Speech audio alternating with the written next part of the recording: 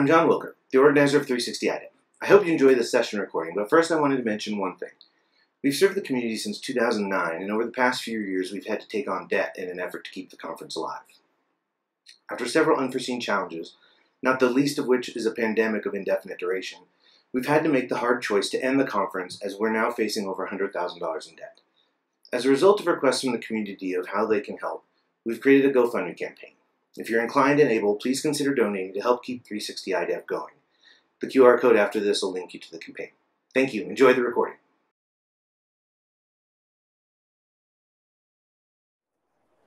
So I can never spell, so I have to, uh, you know, that's how I remember how you spell it. I always want to put an E in there. Anyway, seriously, we're in advanced codable.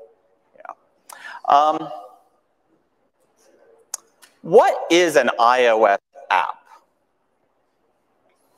It's a program for turning JSON into views. That's what we do all day. That's all we do all day. And the tool we use for that is Codable, and specifically it's JSON Decoder. I, I expect most of you do know the basics. I, I hope so. I'm going to, going to assume that for this talk. You know, automatic conformances, the basics of writing a manual conformance, container keyed by, that sort of thing, decode for key, basic coding keys kind of stuff. Today, I want to focus on a level below that. I want to keep going a bit deeper on the kind of weird problems that people ask for help on. You should really think about this talk as more how to think about Codable. This is not tips and tricks. Um, I'm going to show a lot of code. I'm going to show a lot of code. Uh, but I'll post it all for you at the end and uh, along with the whole text of this talk the point isn't the code examples. The point is how you can write your own code when you have problems so that you understand how the codable system works. Swift can auto-conform types for us, uh, writes code for us, and that's fine for some very basic projects. Unfortunately, the moment you need anything that is not exactly something Apple imagined you were going to do, it all falls apart. And uh, you have to write everything by hand very, very frustrating. Um, but if you take just one thing away from this talk, um, it's this. Do not wrap yourself around auto, uh, auto conformance, right? Writing conformances by hand is not very hard. It's just tedious, right? So do not, um, do not look for things that take that simple, fast, easy to understand code and turn it into, you know, complicated little trickeries. Those things come back and bite us.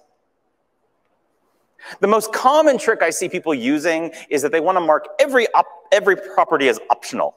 Please do not do this. It creates a lot of problems. First, are really, seriously, all of your properties are optional? You can work with nothing? ID is optional? I mean, what, what are you going to do when you with this? Can you really proceed if you don't know any values? Uh, wouldn't it be better to stop early down at the decoding layer and, and fix it or stop, right? Rather than have the rest of your program have to deal with this bizarre corrupted record all over the place. And that's the biggest problem. It makes your, uh, the rest of your code a mess of nil coalescing and uh, over question marks and compact maps and all this stuff. It is better to figure out your error handling in one place. Clean it up if you must, throw if you can't handle it, and then have solid data that the rest of your program can just deal with. This is also where you're going to test, right? If all of your various views can I have lots of nil coalescing, you have tests for all those, right? So that they work properly with, the, with you know, corrupted data. I'm betting you don't. This is a lot easier code to test than all your view controllers, or I guess views now making everything optional actually doesn't even protect you all that much. If an enum has an unexpected value, something you thought was an, always going to be an int sometimes is a string because you're talking to PHP, uh, the whole parser will still throw. And so you still have to deal with that fact. The only thing optional means is it's okay for it to be missing which sometimes that is in fact okay, but even in that case, you probably want a default value, and that default value is probably empty right? Empty array, empty string, and the like. The only time you really mean nil is in the case where missing is semantically different than empty. which does occasionally happen, but it's kind of rare. If you find yourself nil coalescing a lot, or if you ever think you need a nil or empty extension, you're using optionals too much. Stop it. The other trick I see people use uh, is property wrappers. I want to love them. I want to so much. Someday, someday, someday, maybe. When they are actually like true type annotations, generalized type annotations, I think that they will work. Today, every set of property wrappers I have evaluated has tons of little corner cases. They start off awesome when you're just building little tiny things and you don't have to, it's, oh, yay, I just scatter some stuff, it's great. As your system becomes complicated and you need error handling, they start to fall apart. Um, some of them, some of the most beautiful ones to use, if you implement them wrong at all, if you make your initializer wrong at all, oh, they crash at runtime. That's a non-starter, right? I don't think property wrappers are today the answer. That said, if they are working for you, and I know lots of people that they work great for, great. I mean, that's totally fine. Uh, but I'm not going to talk about them today. The other little thing, I haven't seen a lot of people try to use this. I just, you're going to see it if you look through the docs and you're going to go, wait, there's a way to configure Codable? Yeah. Um, it was added in iOS 15. As best I can tell, it only is used for attributed string, and I've had trouble getting it really to be useful for anything other than attributed string. Maybe it's useful. I'm not going to talk about it because I couldn't make it useful if you have a lot of very, very large objects and you just don't want to, you don't want to type all the code, right? There are a couple of tools I recommend. And the first stop for basic codable problems, if you have any codable, like just, I just need a basic implementation. QuickType, app.quicktype.io. This is brilliant. Um, you paste arbitrary JSON over on the left. It gives you code in Swift or 20 other languages on the right. I love it.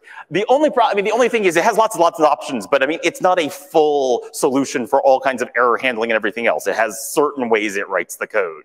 But if you have kind of a well-behaved format, this is really nice, especially for getting you started, getting like a basic uh, implementation. If, however, you need to go further, you need, you have lots and lots and lots of, of properties, you don't want to write all that code, you have complicated needs, the answer is let code write code. The answer is CodeGen, right? pull out Sourcery, pull it out. It has a whole bunch of templates already. You can build all your own things you need if that is really your problem. But the thing is, I think a lot of times it's not that complicated. People just don't want to write a few lines of code. Just write the code. Okay, do not bend your model around autoconformance. Okay, that's enough setup. Let's actually get into it. Um, let's talk about coding key. Coding key is a protocol. It is not a magic enum thingy. Um, coding keys don't have to be enums. It's a protocol. There does happen to be some compiler special magic. If they are enums, there are little things that get done for you automatically, but it's just a protocol. This is the protocol. It wraps a string value. It also on the side might wrap an int value, which rarely actually matters. The main thing is it wraps a string value. That's it. You can actually see what the compiler does. Uh, if you want to see its automatic conformance, all that code that it writes for you, it will tell you. You can hand it to the compiler, pass uh, whatever, print AST, the abstract syntax tree, and it will dump it out in beautiful Swift code and show you exactly what the compiler is going to see. This is very, very nice, and will show you just how much code it is, right? Small things can be hundreds of lines of, of uh, conformance code written for you which you then also ship. so keep that in mind. So what does it do for this, for this very, very basic type? Uh, it generates an enum. Um, and uh, it creates this equatable, it's very interesting to me. It creates like an equatable uh, conformance for it that's based on numbers. You might immediately go, oh, it's going to be based on strings, but it would be slow to compare strings. So they actually write tons and tons of code to do uh, integer checking. I'm not at all saying that this code is like slow or bloated. The, I'm sure the optimizer can eat this up but, um, and, and, and make it very small. But it is interesting to see what it writes. The important part, though, the guts of it, is it writes this kind of little conformance for your enum. And that's all, all it does. It ignores integer values and it wraps a string. What if we made a struct that just did that? Glad you asked. I love this type. This is my favorite type. Um, I, this is a custom type. I mean, this is just mine. Everybody makes, tons and tons of people have invented this type many, many, many times. They call it lots of things, um, but it's just a wrapper around a string. Um, this is the most minimal form you can have. This isn't actually the one I use personally. The one I use personally also does handle integer types, and I'll post it. Most importantly, it handle it is, conforms to expressible by string literal. So you can just use quoted strings, and they will be a coding key. This is good. Oftentimes I'm like, don't just make strings be things. But for here, and you'll see throughout this talk, it's actually really nice. Since it's just a wrapper around a string, and JSON keys are always strings, it means it can handle any JSON you want. By the way, you'll notice I'm always talking about JSON. I never talk about binary property lists or other kinds of property lists. And that's because unless you work at Apple, we all use JSON and we never use property lists. Although I will say, if you're saving stuff locally, binary property lists kind of rock. They're actually smaller than JSON. But um, why do I love this struct so much? Well, for one, it gets rid of the need, you don't even need coding keys, right? You can just use strings. Now, you're seeing hard-coded string literals down there, and that may make people kind of freak out. Go, oh no, how could you hard-code strings? Here's the thing. If you only encode decodable or only encode, only conform to decodable or only conform to encodable, that string exists exactly one place in your entire program. That's good. That is better. That is objectively better than it being a constant somewhere else in the program. Because that creates two things, right? This is, this is good. And I'm telling you, I recommend only implement the part of codable you need. Do not do both encodable and decodable if you don't need both. It is two things. One is it's a lot of overhead because it writes a lot of extra code. But the bigger reason is it's not what you meant and it creates headaches. When all of a sudden you have somewhere deep in a big tree that you have promised is encodable, you have this one type that's hard to encode. But you didn't need to encode it. And then you write fatal error as the encode. And now you have the worst of all possible worlds. right? You say it's encodable, oh, but it'll crash. Ah. I admit, this is a bit of code for every conformance. That's, I don't like that. We, we want it to be tighter. The first thing I tend to do is I use any uh, key decoder or any key container a lot, so a little extension is nice. And you know, I don't like using return types as the way you conform, how, how you decide a generic type usually. In this case, because it's just an option, because you can use the normal one that passes the type, this is just another option that doesn't pass the type. And so you can have either way, you can have it work either way. So I like this a lot.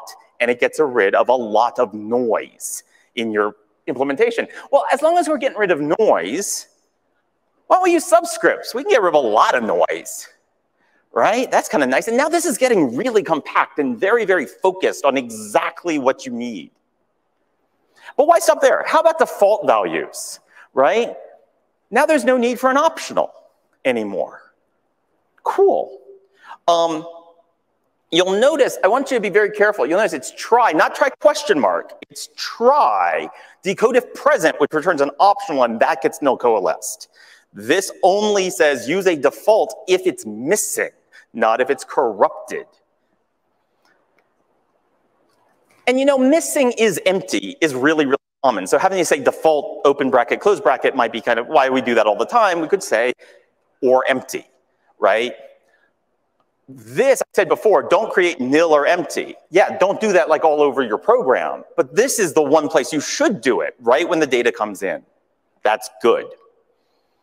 What about errors, right? We would like to re recover gracefully when we don't expect something from the server. Okay. Um, but the thing is, if we get really aggressive about them and just throw away all of our errors, debugging is really hard, really hard. So here's an option, fail with subscript. This asserts in debug. So if you suddenly, if you didn't really understand the contract with the server, you know, you'll find out. But okay, in release, we'll, we'll go ahead and dump in unknown for the name. Now you'll notice how I've done this, age still has to be there, has to be right. or it'll throw. Maybe it's more important. The point is you can mix and match. You can decide what makes sense. What about the children property where there's a bunch of, there's a whole collection you're pulling up? And maybe I say, if some of the children aren't there or have a problem, there's something I can't decode, just keep going. Like, take the ones I can figure out. And we can do that. And again, I can add a system that says, but if that happens, a certain debug, so I know.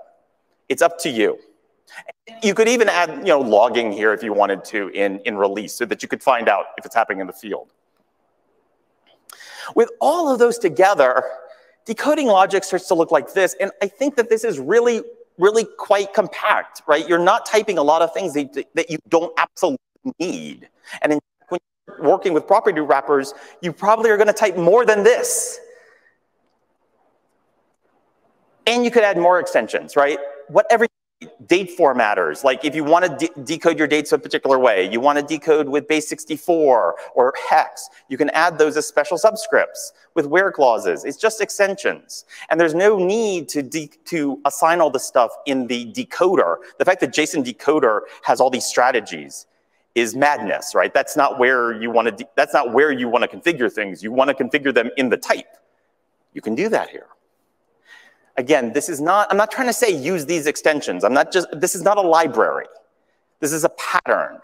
What makes sense depends on the data you are working with. Even for a single API, different responses may need different error handling. Say you have a corrupt record in a list of product recommendations, right? And there's 20 product recommendations and 19 of them are good and one of them you, don't understand how to decode because they changed an enum on you throw, the, throw that one away. Who cares, right? Compact map it out. Ah, who cares?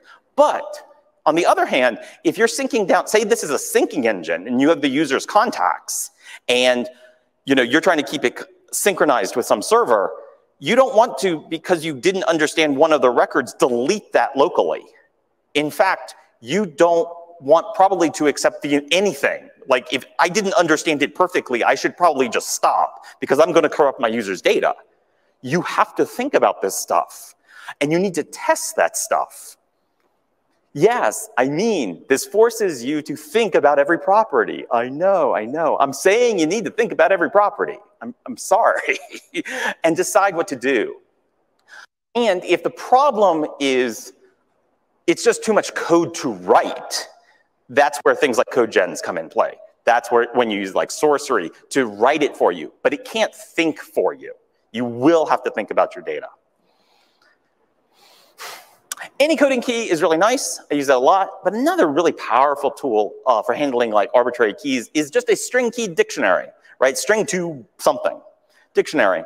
Say you have this JSON, the keys are not fixed. This is probably the most common codable question on Stack Overflow. Have, you know, the keys could be anything. Um, now, say you don't care about the identifiers. You know, they're not actually part of the person. You know, they just, that's just how the server happens to send it. Don't overthink it. That's just a string to person dictionary, decode that, take the values, you're done. Okay, okay but that's too simple. Let, let's, let's do the thing that really comes up, which is that identifier is in fact part of the person record, right? We need it. Now, of course, you could make a partial person and, you know, decode this as a string to partial person and then, bleh, yuck, don't do that. Let's do it better.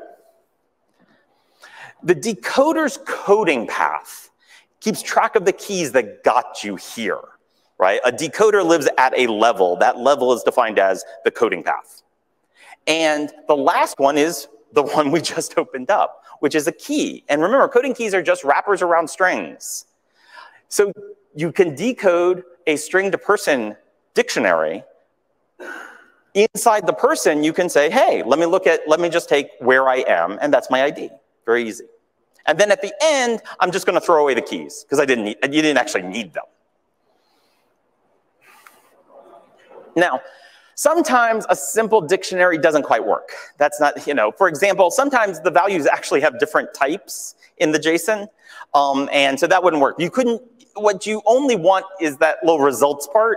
And so you might think, well, I could do a string to string to person array, but it's not a string to string to person array because status doesn't, is different and it, the other things get in the way. You can't, so you can't do it.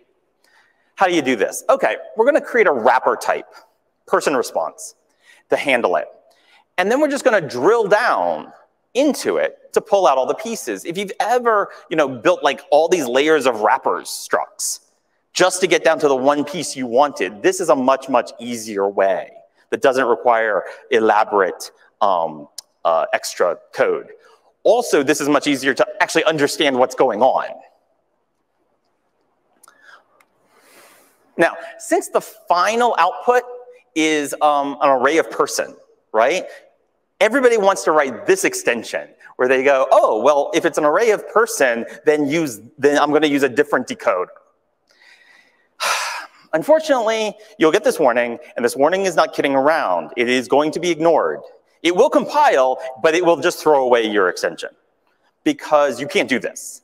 You cannot, a given type can only conform to a protocol exactly one way.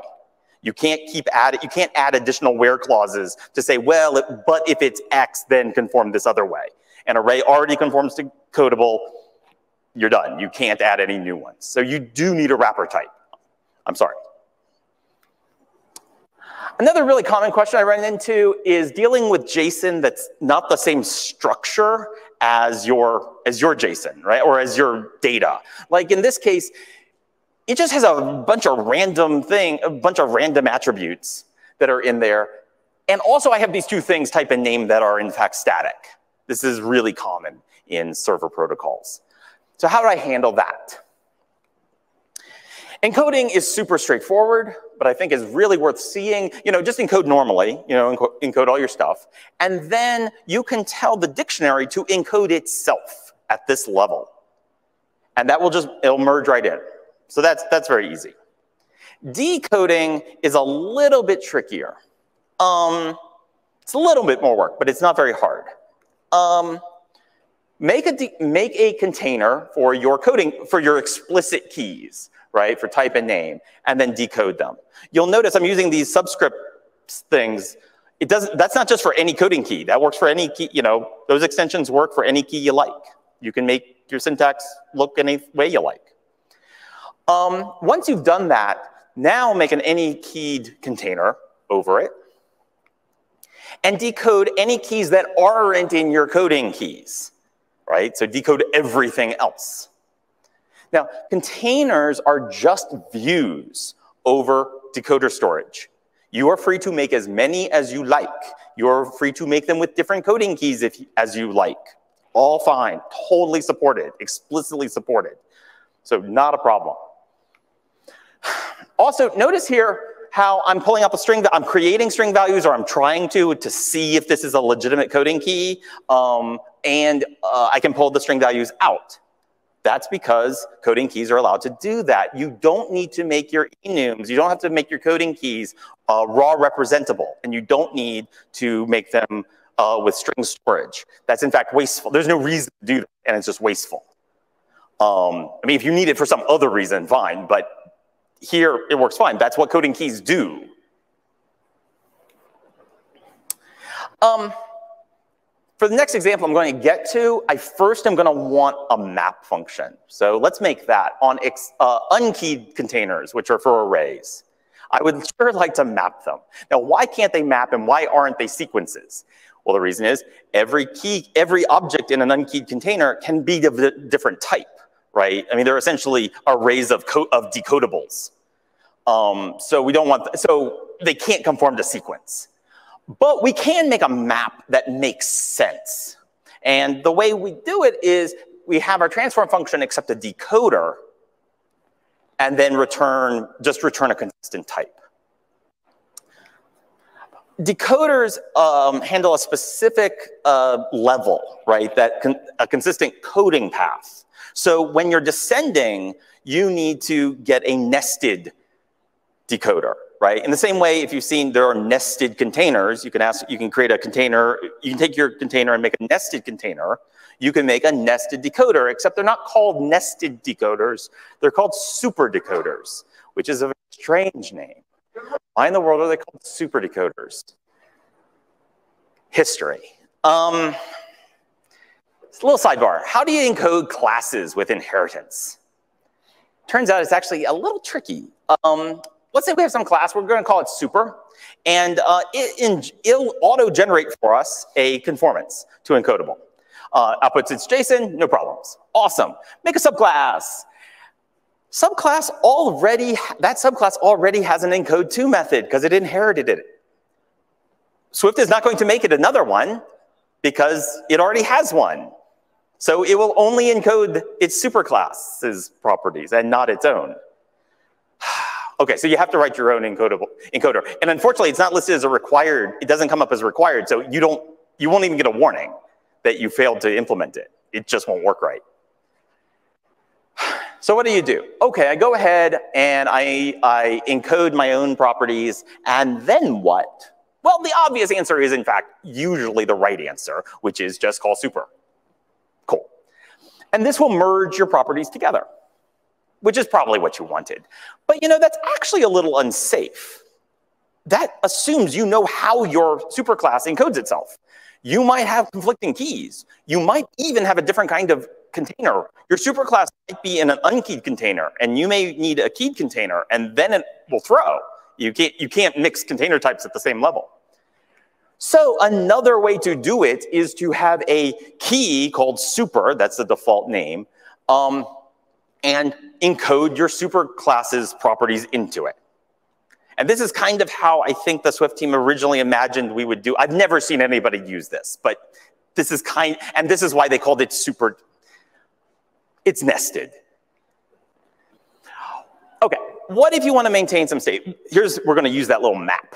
Um, you want to maintain some state while you're decoding. Uh, for example, it may be useful for each category in the tree to know its full path, right? So laptop would know that it was in electronics computer, right? And also, um, I want to, just to make things interesting, I also want to know the total count. And I don't want to walk this tree twice. I want to know this while I'm decoding right? Because we want to be fancy.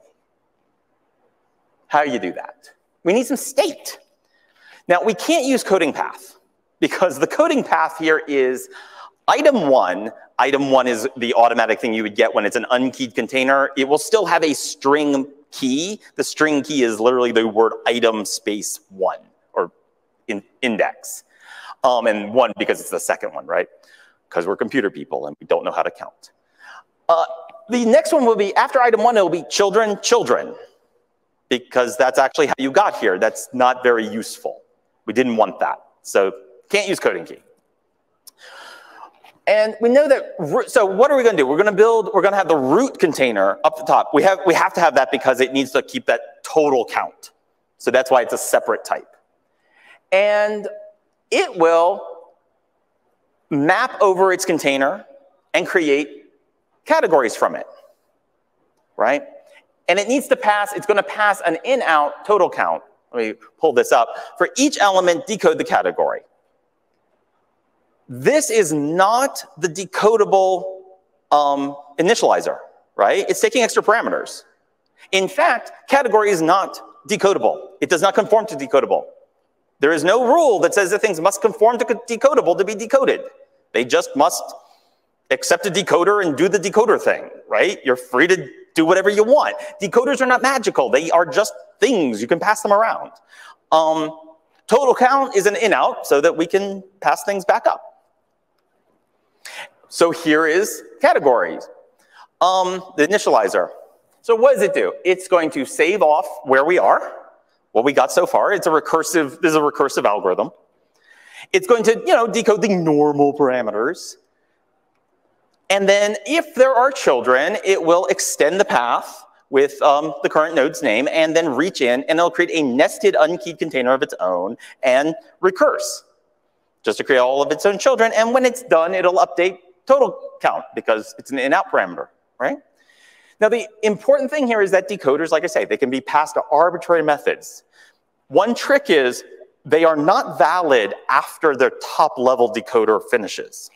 So at the very, very top, there's going to be a decodable that got handed a decoder. You can't put that in a property. I know that because I was like, can we do this? And I went and asked the standard lib folks, and they were like, nope, you cannot do that. That is not valid um, because it's not guaranteed to be uh, uh, valid at the end of decoding. Um, but you are totally free to pass them around and store them. Uh, actually, not as long as you don't store them. I hope you kind of see some of the patterns that are repeating here uh, that come up, I think, for the common, you know, everyday kind of problems. Um, any coding key, I really like. I think it solves a lot of basic problems, um, and also that you can mix code, any coding key with other coding keys that are convenient. You can uh, use nested containers to drill down. You don't have to make like all these, you don't need to make types you don't care about, except for those top level wrapper types for um, arrays. You sometimes will need it, you know, if, uh, if there's an array, but don't forget about, you know, good old string to something dictionaries, in which case you can sometimes dodge the, uh, the array. Um, Coders and containers are just normal objects. You can pass them around. And extensions, I really want to, I, I, hope what I've really shown is you can make your own extensions on these things and make the code, the, the interface of Codable is not that great. It's kind of clunky. It's very, very clunky. It has a lot of problems. But you can fix it. It's Swift. We love to make extensions. But you can do that without losing any flexibility. You can still, it's just Swift. It's, there's no magic going on, no trickery. These are great tools. All those were great tools if you have model objects, which is what people do, you know, 90% of the time. But I don't know, what if you just have JSON? I mean, I just want to read the JSON. I don't want to think about model objects. I don't want to decode. I, I just want JSON. What could we do? Now, you may have been doing this before with JSON serialization, stop it. Um, JSON serialization is horrible. It comes from the Objective-C days. Um, it therefore returns you any. JSON objects are not any. Can they be a UI view controller? No, they cannot. They can't be a CB peripheral. They, can, they are not any. They are, in fact, one of a very short list of things they are allowed to be. They can be an object, an array, a number, string, true, false, or null. Interestingly, they're not Booleans. They are true or false but we can say they're, they're Booleans. That means that a raw JSON decoder should return an enum, something like this one, right? Before I talk, though, about how to use this type, I want to point out a couple of little quirks about this type. First, numbers store digits as a string. Why? Because JSON defines numbers as a sequence of decimal digits plus possibly a sign, decimal point, base 10 exponent. But at the end of the day, it's a sequence of digits of arbitrary length and precision, right? Nothing in JSON limits numbers to the range or values of doubles, right? And JSON numbers are absolutely in base 10. They are not in base 2, right? So double is flat out wrong. Um, there is no numeric type in standard lib that can really fully express every legal JSON number. Um, decimal is pretty close, but it's, has limit, it has finite range and therefore can't get everything. But double's just right out, right? I mean, double has binary rounding, which can actually be a real mess in JSON. So I, I highly recommend using decimal for the most part. But at the very bottom, bottom, bottom level, you'd rather use strings so that you don't lose the information. Now, um, standard lib handles decimal really well, uh, or if you decode, encode, and decode decimal, they will keep it in decimal through the whole series in and out, and so you won't have any rounding problems, which is nice. Um, but say you had a big int type, right, that could handle you know, arbitrarily long integers. There is no way using standard lib to encode those as numbers. I'm sorry. Um, you'd have to write your own JSON parser or uh, formatter, which is not as hard as it sounds, you can't use standard. This one's even more interesting. Okay, why? Okay. Objects have key value, JSON key values. What's a JSON key value? It is an array of key values. Um, well, okay, but why not dictionary? JSON defines objects as a uh, set, a set of curly brackets surrounding zero or more name value pairs. You know, a dictionary, right? No, no, no, no, no. The JSON syntax does not impose any restrictions on the strings used as names, does not require that names be unique, and does not assign any significance to the ordering of name value pairs. These are all semantic considerations that may be defined by JSON processors. Don't misunderstand that assigns no significance. That doesn't mean they're unordered. It means JSON doesn't say. They may be ordered or unordered. That's up to the processor, right? So that means that ordered keys with duplicates is totally legal JSON. So every time somebody on Stack Overflow asks, how do I keep my keys in order? And everybody tells them that's illegal JSON. No, it's not. Standard lib is wrong. And unfortunately, there's no way to work around this in standard lib. Standard lib uses di dictionaries internally and therefore will break you. Sorry, you have to write your own parser. Again, not that hard. Anyway, once we have this JSON uh, value type, Encoding is pretty simple. For each type, create a container, encode the thing. Uh, for simple types, that's a single value container, which um, just is a thing that holds one thing. Uh, you don't usually run into this, but it is useful for exactly this purpose. And then for array objects, encode all the key values. For arrays, encode all the values. And for nulls, you, you, you call this thing called encode nil, which is null in JSON. That's it.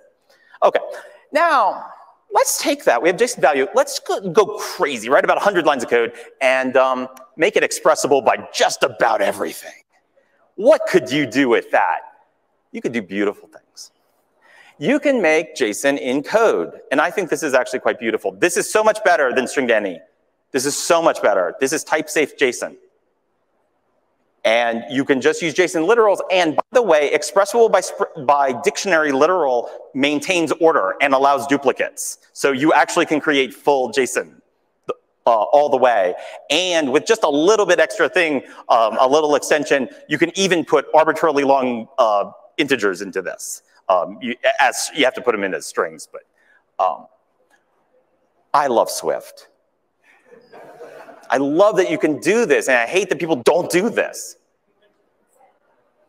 Decoding is just a little bit more complicated, but again, not bad. And it is an excellent example of how to handle OR types, where it's like, maybe it's a string, maybe it's an integer. I don't know because server people hate me. I have a sequence of small functions that I'll try to decode something. I'll show those in just a second. Um, if they have trouble, they all throw type mismatch. If, they, if this is not the right type, they throw type mismatch. And then they try the next matcher. Notice this is not try question mark. That's on purpose. It only captures type mismatch. This means that when there's an error somewhere deep down that's like, it's actually corrupted data, corrupted JSON, you get an error that means something. Type try question mark is bad. um, the Swift team is actually said we, you know, it's, it's not a good tool. It was added because it was easy to add. Uh, they probably wouldn't add it now. Um, because it throws away all that information. Catch, the, catch it. And that's really all you need. Um, that's it. Uh, here are like what I meant by they're just little tiny functions that say, you know, try to decode it as this, try to decode it as this, you know, do all that. And with about 100, another 100 lines of code, everything here is like, and 100 lines of code, and then do 100 lines of code. You get a lot of functionality. Let's, let's play with a really complicated thing, the Pokedex API. If you ever want to mess around with JSON, use the Pokedex API. It is wildly complicated. Uh, I love it so much.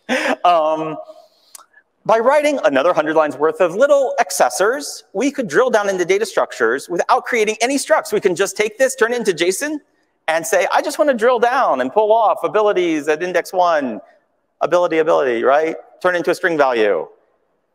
I love that. And with a try. So if anything goes wrong, it'll throw. I could add some subscripts. Boom. I mean, this is the syntax everybody wants when they create, when they create a string to any dictionary. They think this will work.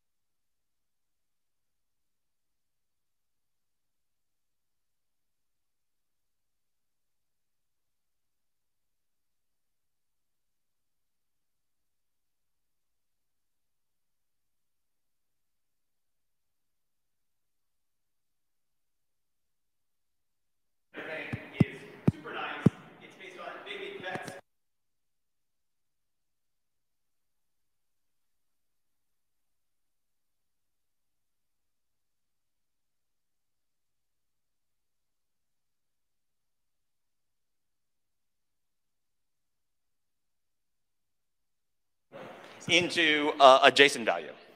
Uh, the JSON value, their JSON value is an internal type. It's very similar to mine, but has slight differences. Everything here is either private or internal, unfortunately. Um, but the whole method is mostly a wrapper around this just parse value. Everything else is just white space handling. And this is kind of just what parse value does. It walks through a document reader, which just has a whole bunch of data and a, and a cursor that it moves around. And it says, oh, is, it a, is this a open qu uh, quotation mark? Then start getting a string. JSON is so easy to parse. It's, a, it's actually one of the most, it's one of the easiest uh, formats I've ever encountered to parse. There's no backtracking or ambiguity. It's very, very nice. An interesting project, therefore, is to hack this a bit. Maybe I'll copy the entire uh, JSON parser file over, remove all the parts that actually generate values, and turn it into a scanner. The scanner can just find the places in the data where a particular coding path exists, right? I'm just using the same code that JSON parser does. It just doesn't generate any values. So it's super fast and doesn't eat memory. Ooh, what can I do with that? Well, now I can drill down, you know, extract the data from a coding path, and then say, decode that using the regular decoder. Moving up the stack, JSON parser is used by JSON uh, decoder. JSON decoder is the, you know, the one that we all know and love. Um, it's important that JSON decoder is not a decoder ah, that's so weird. Um, it is not the thing you get passed in your init methods. Um, it creates the thing that you get passed. And that thing is called a JSON decoder impl. That's actually the decoder.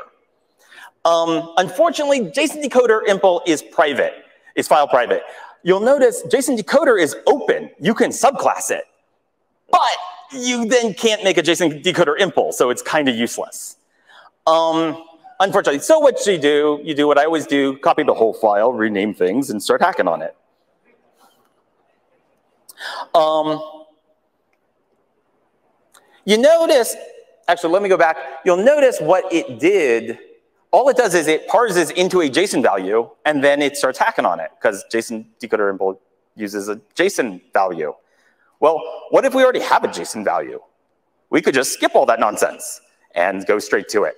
So that's, that's actually really nice. Now, this is not nearly as fast because you're going to parse the whole thing, but it could be super convenient if you need to like hop around different parts of a giant JSON thing and pull out, pull out this and pull out this and pull out this.